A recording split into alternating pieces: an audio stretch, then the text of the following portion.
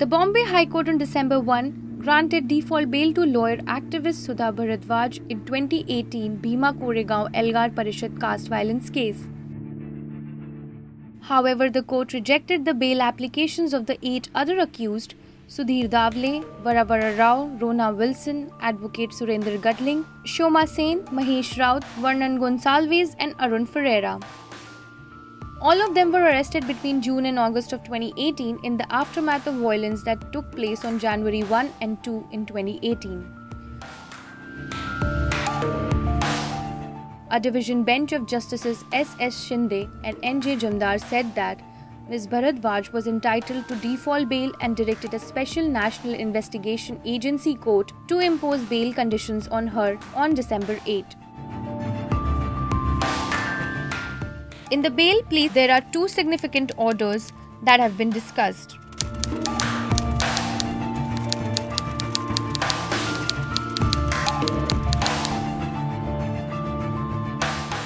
The two orders discussed in the plea had signatures of Mr. Wadane that read Special Judge in one order and Special Unlawful Activities Prevention Act Judge in the other order.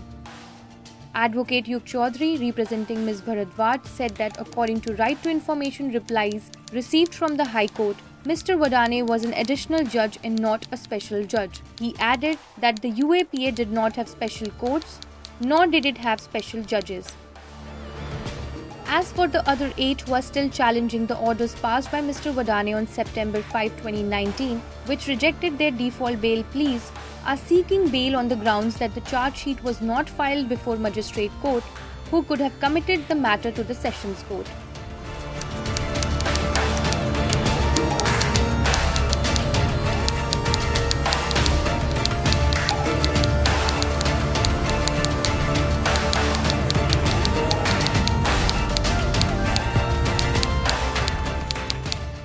All the arrested have been charged under UAPA Act and are in prison except Father Stan Swamy, who died awaiting his bail at the age of 84. Other than Father Stan Swamy, Varavara Rao was granted a conditional bail on medical grounds in February 2021 by the Bombay High Court. Rao has been allowed extensions on his bail.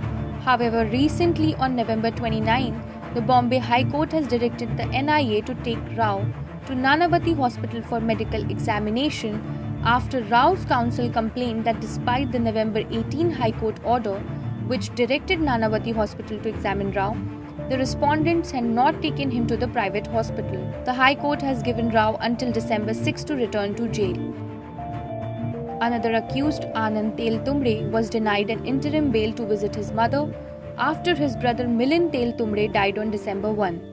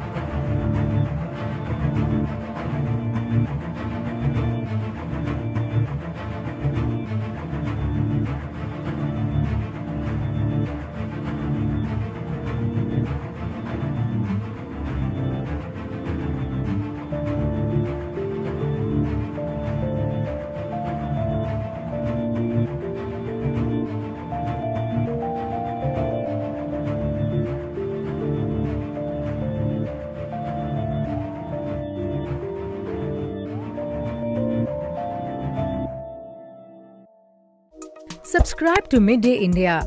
Get direct notifications on all our videos by clicking on the bell icon.